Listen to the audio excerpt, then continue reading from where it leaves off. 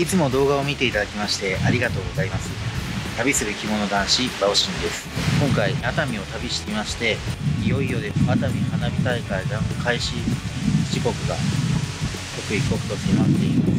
事前に観光案内所の方に足を運びまして一番花火を楽しめる場所を調べておきました素晴らしい夜の芸術その場所からお届けしたいなと思います。ぜひぜひ今回も旅の感動体験を一緒に共有させてください。それでは今回の旅も締めていきましょう。